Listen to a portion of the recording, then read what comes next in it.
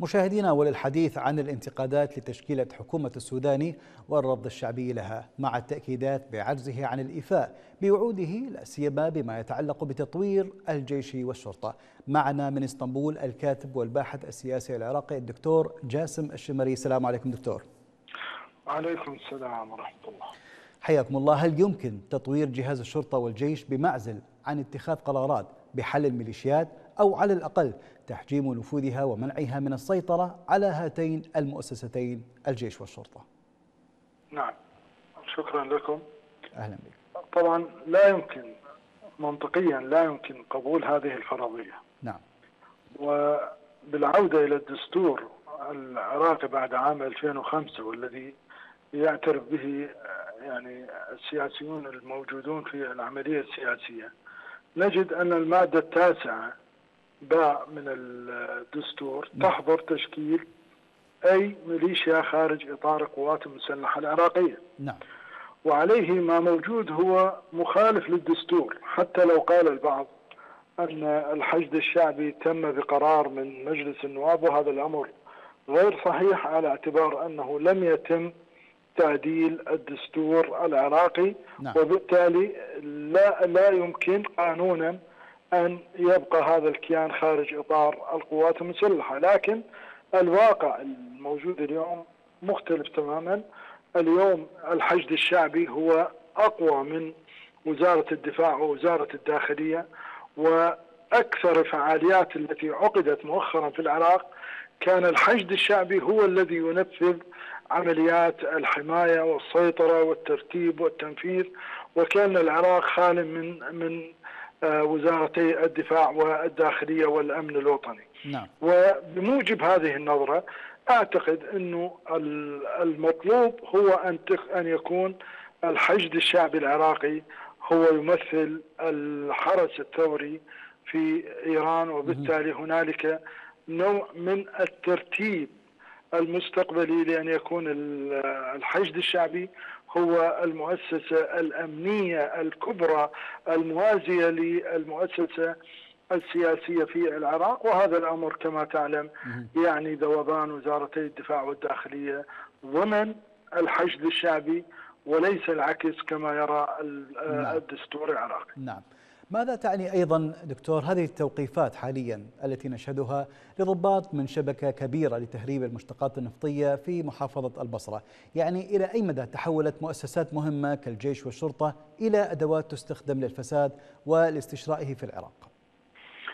طبعا الموضوع ليس جديدا، يعني سبق وان تحدث المئات من العراقيين عن هذه الحالة، لكن يبدو أن الأمور كانت يعني ضمن قدرة هذه القوى على أن تبقى, أن تبقى خارج إطار المساءلة. لكن يبدو أنه بعد تشرين الأمور اختلفت وربما حينما ننظر لهذه الترتيبات الحكومية الجديدة بين هلالين ربما يمكن أن ننظر لها من عدة زوايا. الزاوية الأولى أنها محاولة لترطيب الأجواء مع التيار الصدري على اعتبار أن شعار التيار الصدري هو الإصلاح. نعم.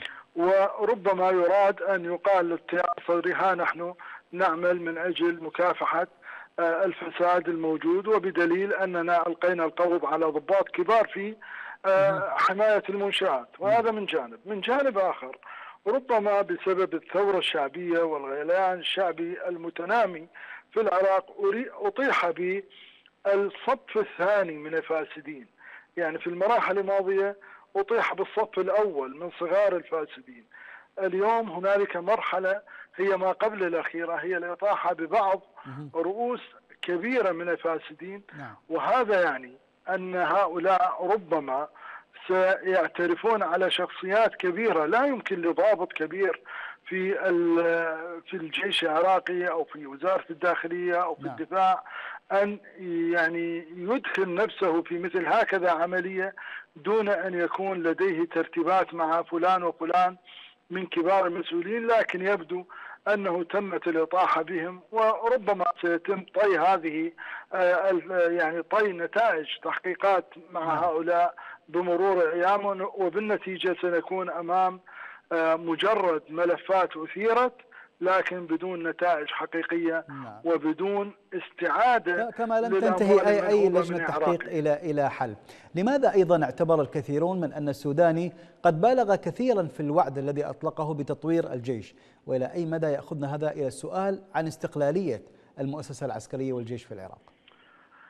يعني ربما هذا الكلام يعني تحدثنا عنه في إجابة السؤال الأول نعم. وبالتالي لا أعتقد أنه آه، يعني الإجابة تخرج عن إطار السياق السؤال الأول على الرغم من نعم. نعم على الرغم من أن السوداني اليوم كما تعلم هو القائد العام للقوات المسلحة في العراق نعم. ويمتلك صلاحيات حقيقية يفترض أن ينفذها لكن هو يعلم كما رأينا في مرحلة الكاظمي كيف أن الحشد الشعبي كان أقوى وكان يتحدى الكاظمي وكان يتهم الكاظمي بالخيانة والعمالة وكثير من التهم التي بموجب القانون العراقي يفترض أن يعدم عليها آه، آه، القائد العام للقوات المسلحة حينها أو يتم تقديم الذين اتهموه إلى العدالة.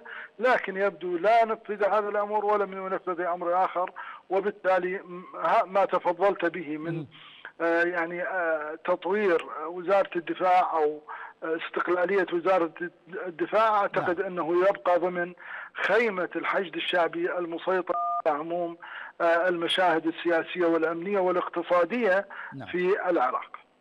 طيب أيضا في هذا الإطار ما مدى نجاح وإمكانية نجاح حكومة السوداني في مهامها ولماذا الغالبية تتوقع فشل هذه الحكومة بطبيعه هل هل يعود هذا إلى طبيعة تكوين الإطار التنسيقي نفسه؟